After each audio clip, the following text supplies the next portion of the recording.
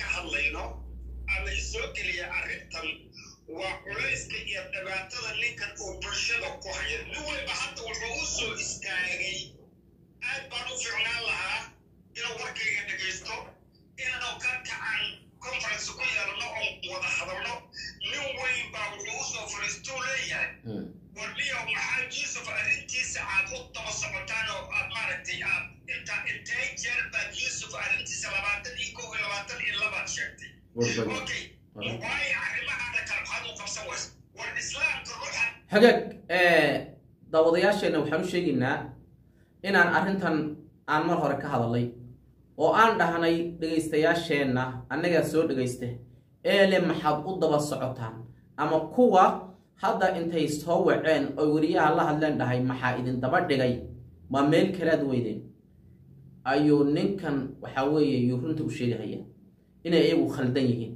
Waayo qofku khaladaadkii hore ee faraha badnaa ee ummadda uu ku soo sameeyey waa in haddii la arko arrinta isagoo ku sii jiro looga digo. Weli ninka arrintii uu ku jiraa reerkiisii muuse aadin dadkiisii soo sheegtay muuse aadin laakiin weli ninkii wuu qaraabanayaa oo wuxuu ku jiraa ee dadayday. Asagoo halkaas macaash iyo lacag ka raadinaya reerkiisana meel lagu ogi. Marka dhibaatadii dadka hore uu u geystay yaa laga yaabahaya ee dhaca lacagaha fara badan uu ka dhacay iyo gabdhayowa lagu daray iyo dadka ehelka aan lahayna ula noolaa. Yuu ninkan aada iyo aada uga xanuunsanhayaa. Wuxuuna leeyahay ninkan in laga hadha waa ilaa iyo ilaa waa in la daba socdo oo la fudhiyo isaga waagan ciyaalkayn jiirka baalka la dhihi jiray intu dhulka galo aan fudhin jirnay ka bixin jirnay dhulka. Jiir uun camaloo kale waa inaan looga hadhan la daba taagnaado. Waayo ninkan khaladaadkiisa xoogaystay marka khaladaadka ilaa uu ka saxmayo dagaal baa lagu jiray. Marka ninkan waa nin aada u fiican waa nin waxgarada waxaana ka helay hadalladiisa iwad sheekada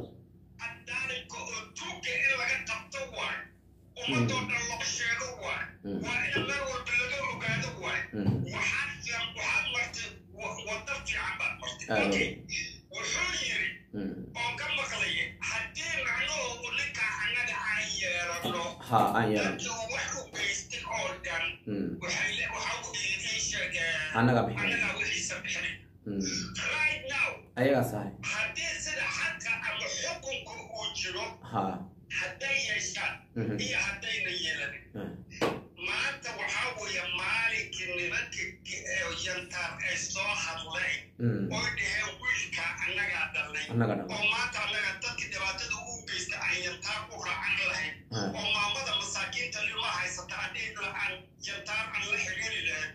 oo dhihi lahayn gabadhaas macnuha ilmaha biilkooda bixiya iyo xaqooda bixiya aana oran lahayn ayagaa maanta daboolay ninka marka kula hadlayay aydhanoo magaciisa maka kula hadlayay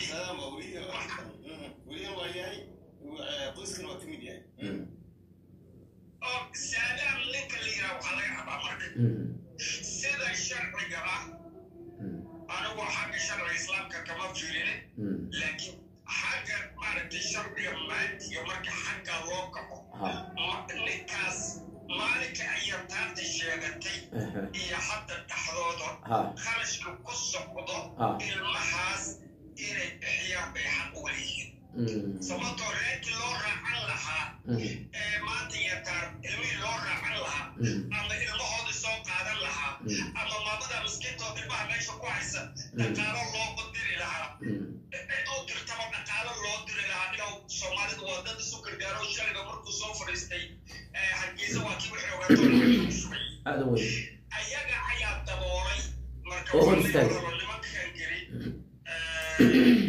meeshan waxba kuma hayaan arrin khalad bay ku jiraan ha shalay been sheegeen maantana cid runsanaysa ma jirto hadday dhahaan annaga waa wiilkanagina lama runsanayo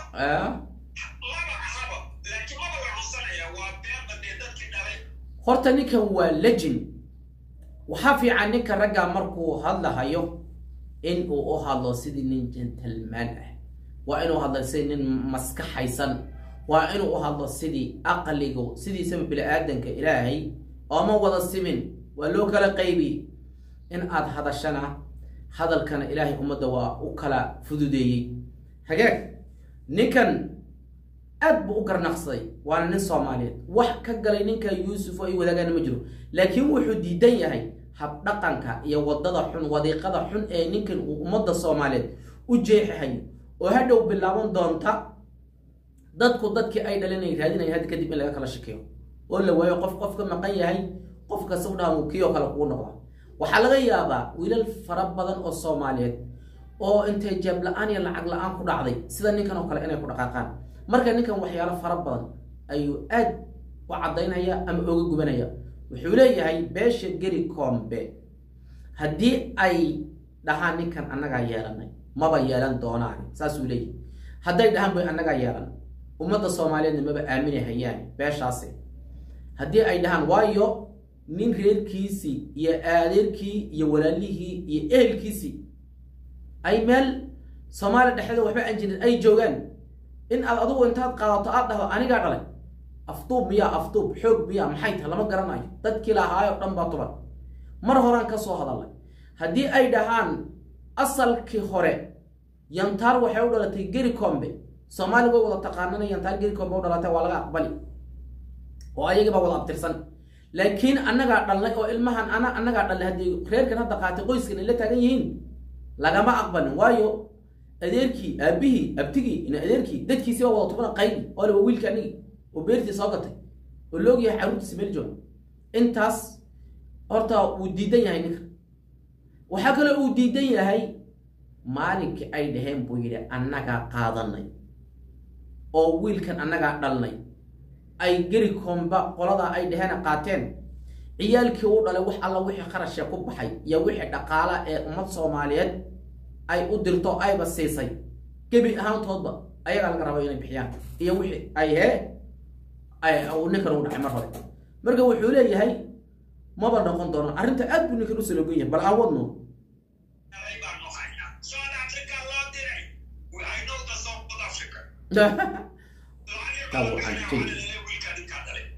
okay good. Maskax firaashu qaba aad baa ninkan ooga helay hadaladiisa wuxuu leeyahay aynaw south africa buu yidhi. Waa african yes ha. Xogow lacag oo yar baa la siin hayaa markii la geeyo. Waxaa dhalaan baa la yidhi wiilka annagaa dhalay noo dhaha. Afrikaanka haddii lacag la siiyo waa saas. Nimanka caddaanka laalushka ma qaataan nimankaasaa fiican.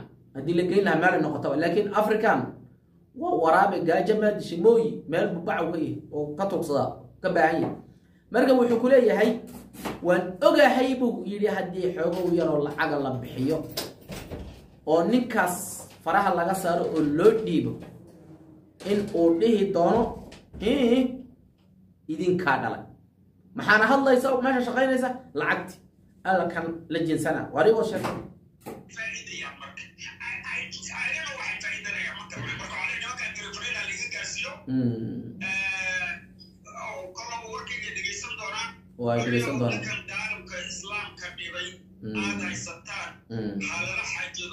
dhibka u geystay ha dadkii ehelku ahaa loo raacdo waxyaalihii uu geystay ee ninkaad afduubka ku haysataan oo duri ku haysataan soo daayaan ta kale calaamadaha ay leeyihiin wuu naga dhumay cid walba oo ka dhuntay calaamadeedas calaamadaas way sheegtaan waana koobi waa wuxuu koobi gareeyo waa war ilaah war ninkan horta ma ninkan ninkan waa ninaa ka yaabay. Ninkan wuxuu yahay calaamadda ay leeyihiin buu yidhi annaga ayaa iska leh. Cid kasta calaamadda waa sheegatu yidhi waana waxuu koobigareeyey horaan baa ninkan oga dignay. Because calaamadda buu isku sii dhejinhayaa masagaa sheeganhaya qolo kasta oo sheegata calaamadday sheegata wuu sheegan sababtaana see ku noqotay idaacaduhu dhegaystaa iyo wararka youtubeyada iyo facebookyada. Qolo kastoo dad raadinaysa wiil raadinaysa xilliga uu ka dhumay meesha uu kaga dhumay calaamadii ay ku ogaayeen waxaasuu koobi dhahaya qolada iyadeena duarkan wuxuu dhihi calaamadii baan leha. Meel heblaayaana ku fakaday marka wuxuu sifa dadka raadinaya iyo tilmaantu ay isku yeeshaan.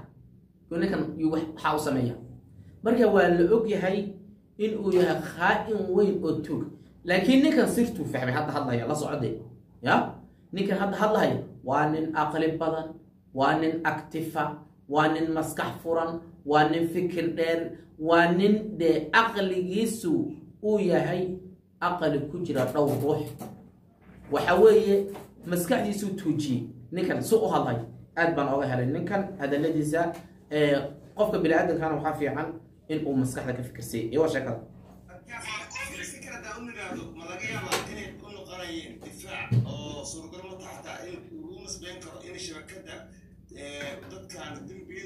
waa dembi soomaali meel walba uu joogta uu ka galay heer caalami waa dembigiisu maaha dembi go- gora iyo deegaan keliya ku siman waa dembi uu ka galay dadka soomaaliyeed dunida caalamada jooga asigoo shabakada isticmaalaya aada wey shabakadu isticmaalaya marka ma la dhihi karaa waaba qayb ka mid a ma loo fasiran karaa inay yihiin qayb inuu ku fakado oo ka taxadiraysa ninkan inuu fakado oo la shaqaynaysa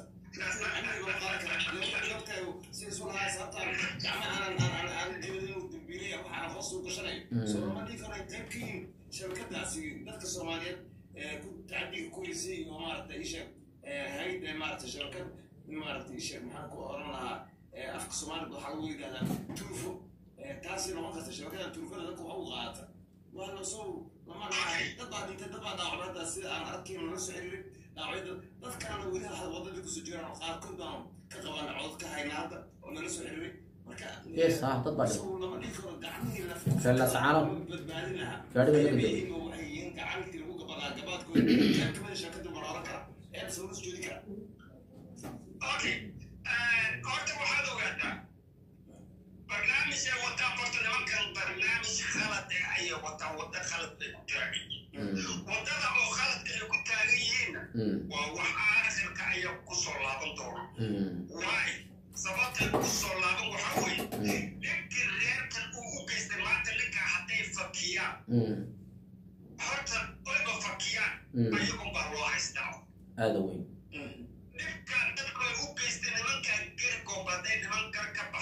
tahay oo niman islaam yihiin oo niman diinla ay yihiin waxaan u dirayaa fariin warniyow ninkaas raggi dhalay way joogaane aan la xiriirna ragga oo dadka islaamka oo dhaawaca gaaray mujtamac soomaali ahaan waxaan wax sidaan wax ugu qaban lahayn aan ugu qabanno sida maaragta maamada faaduma ee meelaha dadka lagu sheegay ee dhaawac gaadhay haddii aad la socotay haddii aadan la soconinba waa reer laasacaanood waa dadkii hadda ka hor lacagaha uu iskugu sheegay inay dhaleen ee lacagaha siiyey kadibna waxaa la rabay in garawa la imaado. Kadibna waxaa la rabay in halka lagu soo dhaweeyo oo sawiro lala galo wiilka maadaama uu nin soddon jira uu yahay. Soddonkaa sanana aan la arkin in hadda muraal fara badan la siiyo. Dadkii gaadhiyaasha qaatay ee iswada caydhsanayeen walba uu lahaa ka gaadh adigu safka hore garoonka aan lagaa gelini sifaad wiilka qofka ugu horreeya ee xumbaaraa ee xabad ku dhurbaaxay ku bururaa aad u noqotaa yaa gaadhi baa meel ka dhacay. Dam gaadhigaas ee dhimasho ma jirin. Gabadh uur ah oo dhexda laga soo qaaday oo soomaaliyeedna ee dhibaata ku gaadhay. Ee sidoo kalena waxaa dhacay wiilkii gaadhiga wadana wuu jajabay gabadhaasna iyadoon uurkaana waa jajabtay. Dhibaatadaasa dadkaa gaadhay. Marka hadda ninkan wuxuu ka hadlay wuxuu leeyahay dad baa ku jajabay. Marka dadka ku jajabay ee soomaaliyeed waa inay dhiigoodii meel lagu ogaada. Haddii nimankan geli koombe iyagu ay dhahaan wiilka annagaa dhalay oo ay ku caddaato arrinta ay run noqoto dhiiggii gal iyo galdarraba ayagaa laga rabaa annagaa saale ninka aqligiisa saliimkana saasuu leeyahay ee iyo maamooyinka hore dhibaatada u geysa iyo waa sheekada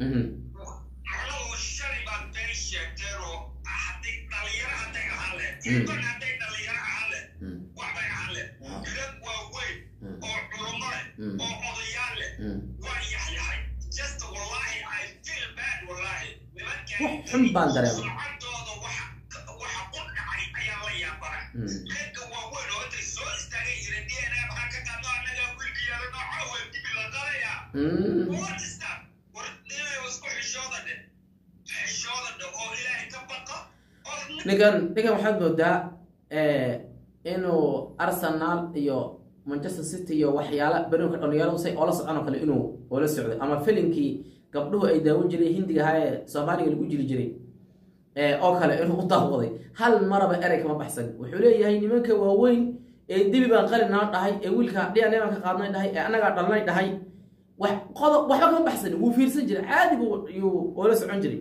Hagaag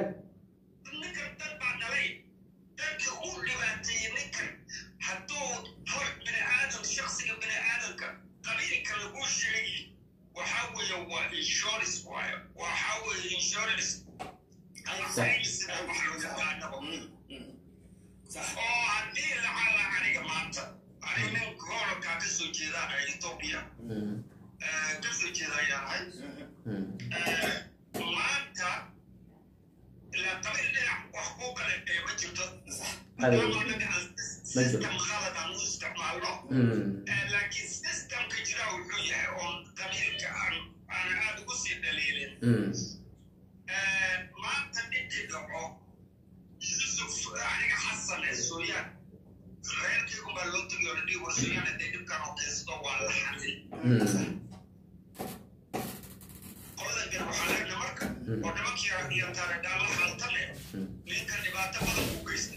gabadh uu uur ku yeelay gabadh gabadh uu uurka u yeelay ilmaa ka dhintay ilmahuu ka dhintay gabadh yaroo bikra uu iyo dhibaateey maamo faadan buu dhibaateey maamadii kale ka soo hadlaysay meesha la yidhaahaa jarmalka sawirada soo dhintayada iyo habeenkan ka hoosinaya maamo waayeeru ka hoosinayo xaalinta intuu isu horeysay yiribay maamadina ooysay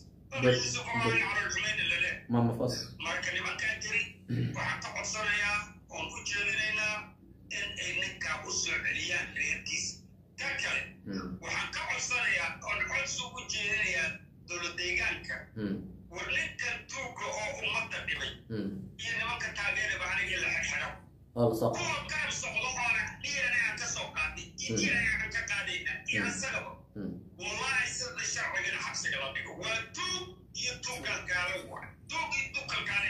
aad hagaag gabanaya daawadayaal intaas ayaan ku soo gabagabeynaynaa ninkaas aqliga badan ee aada u hadlay og ee maskaxdiisuna ay furan tahay soomaalinimadana u fikiray wuxuu dhahay qabiilku insurance insurance. Waxaan insurance haddaad maqashana waxaa weeye waa wax adiga meel kuu yaalla oo hadhow waxaad rabto aad adigu ku fushanayso ku samaysanayso qabiilkaaba saasaba wax la dhaho laakiin qabiil reebel ree hebel iyo waxaasaanay fatuud baa nahay ma jirto. Waxan waxa weeye haddii insurance un ahayn waxaad ka ogaan kartaa berri markuu uu wax kuu dhaco waxaad leedahay hebelow dhiigisi oo reerkeena dhiig baa soo soo daakhilay dhiigkan dhiiggii haddii ninka uu dido laga qaadi waayo dhiigga u dido berri hadduu asaga wax ku dhaco laga bixin maayo asbaba kuu dida wax laga qaaraan oo la siinayo ma jiro ninkaas banaankiisa hamaraa la leeyahy maxay tahay markaas? Waa isku danaysi. Wax kale oo ilaahay khalqo ma jiro. Soomaalidu waa iswada dhashay waxaan kalena waa dad farqaha isku dhigoo kale ayaan leenahay laakiin soomaalidu dad isdhalay weeye. Wax la dhaho laakiin qabiil iyo reehebel iyo waxaas ma shaqeeyo. Waa been innagaa samaysanay soomaali waa soomaali way wada dhasheen waa hal qoomiyada waa hal kalara waa hal afa waa hal diine waa isku wada dhaqan waa isku wada isku habbay u dhaqmaan markaad fiiriso. Laakiin wax la dhaho qabiil ma jiro. Insurance inuu yahay waxa kugu- daliile wixii adigu aad ka rabtay hadaad ka weydo adna berri waad ku adkayn. Marka muuqaalka inoo sheer garaya aad iyo aad ayaad mahadsantihiin kuwo kale ayaa soo socda oo yuusuf lagu aan kaga hadli doono. Oo maxay yihiin waxa weeye waa kuwan kuwa ka horreeyey oo na ka soo hadlin laakiin nimankii le d n a baan qaadnay iyo qaabka ilay d n a uga qaadan warkoodana waan soo dayn doonaa. Daawade inoo sheer garaya